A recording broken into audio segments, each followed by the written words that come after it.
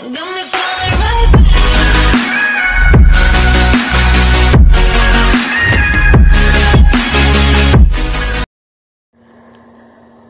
علیکم دوستو آج اکیس دسمبر دو ہزار اٹھارہ اور آپ دیکھ رہے ہیں انفو ٹی وی چینل میں ہوں آپ کا دوست وسیم.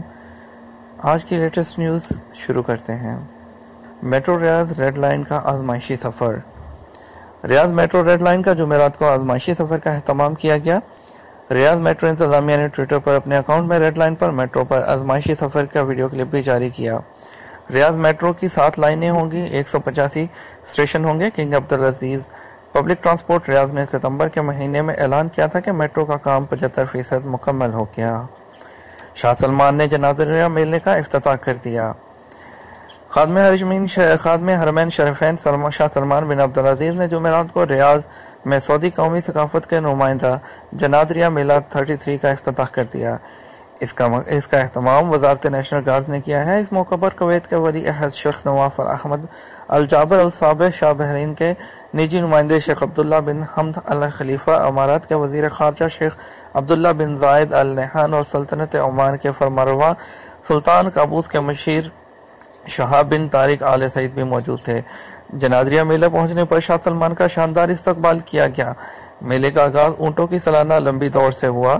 اختتام پر شاہ سلمان نے دوڑ میں آنے والے پانچ اونٹ سواروں کو انعامات ادا کی ہے پہلی پوزیشن مذکر بن مصفر الکاشی کے اونٹ حتاج، دوسری پوزیشن جابر بن راشد الامری کے اجلان، تیسری پوزیشن صفر بن عقاب الشریف کے مبدع، چوتھی پوزیشن سامر بن راشد الامری کے فلاح، اور پانچویں پوزیشن خالد بن عزیز الکرشی کے الفاظر نے حاصل کی۔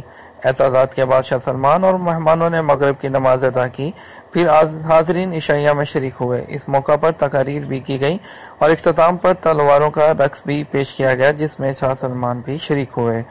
جنادریہ سمارٹ اپلیکیشن جنادریہ میلہ 33 نے الجنادریہ کے نام سے سمارٹ فون پر مفت اپلیکیشن جاری کر دی۔ اس کی بدولت شائقین میلے کی سرگرمیوں اور ان کے لیے جاری کی جانے والے ہدایات اور پروگرام کی تفصیلات سے آگاہ رہ سکیں گے۔ میلے کی انتظامیہ نے شائقین سے کہا ہے کہ وہ app dot Janadriyah dot O R G dot S A پر جا کر تفصیلات حاصل کر سکتے ہیں۔ جنادریہ میلے کے لیے آنے جانے کے لیے مفت بس سروس۔ ریاض پبلک ٹرانسپورٹ نے جنازریہ میلے آنے جانے کے لیے پانچ مفت مفت بسز مختص کر دی ہیں۔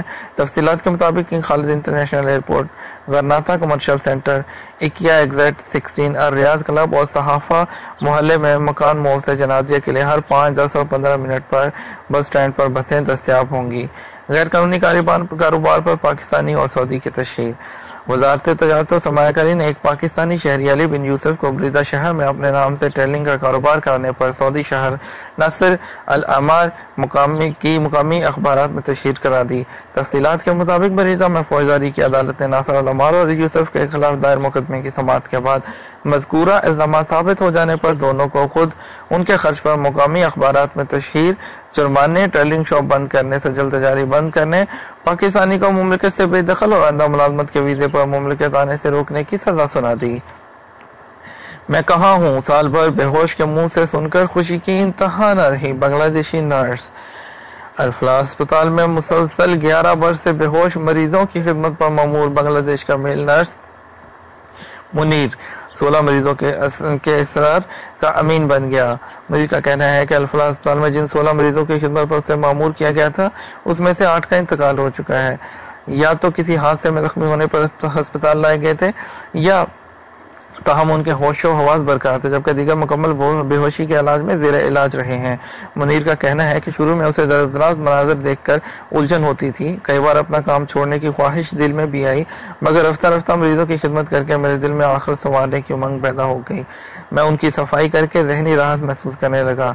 حد تو یہ ہے کہ ان مریضوں کی خاطر مجھے چھٹی پر بنگلہ دیش جانا بھی برا لگنے لگا۔ میں وطن میں رہتے ہوئے بھی ذہنی طور پر انہی مریضوں کے بارے میں سوچتا رہتا تھا۔ مریض نے بتایا کہ ان میں سے دو ایسے ہیں جنہیں میں کبھی بھول بھی نہیں سکتا۔ میں نے ان میں سے ایک کی صفائی کا کام کیا، اسے وضو کرایا، صاف کپڑے پہنائے، یہ سب کچھ ظہر کی نماز سے پہلے کیا۔ نماز پڑھ کر واپس آیا تو پتہ چلا اس کا انتقال ہو گیا۔ مجھ پر اس کا بے حد اثر ہوا۔ میں نے اس کے رشتہ داروں سے رابطہ کر کے ان ان کے عزیز کی موت کی اطلاع دی۔ دوسرا مریض مجھے بے حد عزیز تھا۔ میری اس سے دوستی ہو گئی تھی۔ میں اپنا بیشتر وقت اسی کے ساتھ گزارتا تھا۔ اس کا تقریباً پورا جسم فالی زدہ ہو گیا تھا۔ ایک مریض ایسا بھی میری زندگی میں آیا جس نے ناقابل مجھے ناقابل فراموش خوشی تھی وہ ایک بار سے مکمل اور مسلسل قوم میں تھا۔ اچانک اس کے منہ سے نکلا۔ میں کہاں ہوں تو میرا خوشی کے مارے اڑنے لگا۔ فوراً ہی اس کے رشتہ داروں سے خوش رابطہ کر کے خوشخبری سنائی۔ وہ سب لوگ بجلی کی رفتار سے ہسپتال پہنچے اور ان کی خوشی دیتی تھی۔ مسلم ممالک کے صحافیوں کو دورہ دورہ پر مملکت بلایا جائے گا۔ سعودی وزیر اطلاعات سعودی وزیر اطلاعات و نشریات ڈاکٹر عواد بن صالح الواد نے اس عزم کا اظہار کیا ہے کہ آئندہ مرحلے میں مسلم ممالک کے صحافیوں کو سعودی عرب کے دورے پر بلایا جائے گا۔ وہ جمعرات کو جنازیہ میلے 33 میں شرکت کے لیے آئے ہوئے متعدد ممالک کے، خصوصاً انڈونیشیا کے صحافیوں سے صحافیوں سے ملاقات کے موقع پر اظہار و خیال کر رہے تھے۔ انہوں نے صحافیوں کو ان کے دوسرے گھر سعودی عرب میں خوش آمدید کہا۔ سن چودہ سو انتالیس ہجری ٹریفک حادثات سے اموات میں تینتیس اور زخمیوں میں اکیس فیصد کمی ہوئی۔ محکمہ ٹریفک نے بتایا ہے کہ چودہ سو انتالیس کے دوران سعودی عرب میں ہونے والے ٹریفک حادثات سے اموات میں تینتیس فیصد اور زخمیوں میں اکیس فیصد کی کمی واقع ہوئی۔ گزشتہ برسوں کے درمیان زخمیوں اور اموات کی تعداد میں بے در پے در پہ کمی ریکارڈ کی گئی۔ محکمہ نے اس کامیابی کے اسباب و محرکات کا تذکرہ کرتے ہوئے بتایا کہ آگہی مہم مؤثر شکل میں چلائی جائے گی۔ اس کے خاطر نتائج برآمد ہوں گے۔ گزشتہ برسوں کے مقابلے میں چودہ سو انتالیس کے دوران ٹریفک خلاف ورزیاں زیادہ شد و مت سے پکڑی گئیں۔ حفاظتی بیلٹ کی پابندی سختی سے کرائی گئی خودکار نظام کے تحت حفاظتی بیلٹ کی خلاف ورزیاں ریکارڈ کرنے کے رواج نے بھی اس سلسلے میں خاطر خواہ جو ہے وہ اثرات ڈالے۔ ایک اندازے کے مطابق سعودی شہریوں میں پچانوے فیصد سے زیادہ ڈرائیور حفاظتی بیلٹ کی پابندی کرنے لگے ہیں۔ ٹریفک کا یہ بھی کہنا ہے کہ ٹریفک سلامتی پرست انداز خلاف ورزیوں کا تناسب تینتیس فیصد سے گھٹ کر بیس فیصد آ چکا ہے۔ سعودی محکمہ کے محکمہ خفیہ کے لیے چار فوری حل مقرر۔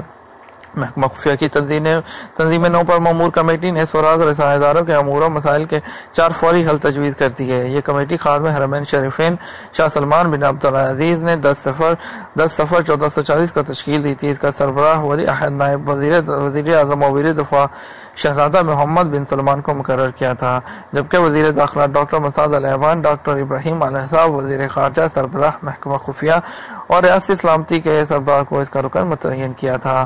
پچیس اکتوبر دو ہزار اٹھارہ کو کمیٹی کا پہلا اجلاس منعقد ہوا تھا۔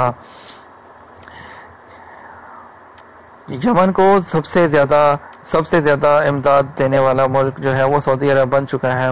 جی دوستو، جو اب تک کی جو سب سے زیادہ جو امداد دی گئی ہے یمن کو، اس میں سعودی عرب کا نمبر سب سے پہلے نمبر پر ہے۔ اور دوستو، امید کرتے ہیں آپ کو آج کی ویڈیو جو ہے پسند آئی ہوگی۔ آج کی نیوز، مزید نیوز کے لیے انفارمیشن ویڈیوز کے لیے ہمارے چینل کے ساتھ جڑے رہیے گا۔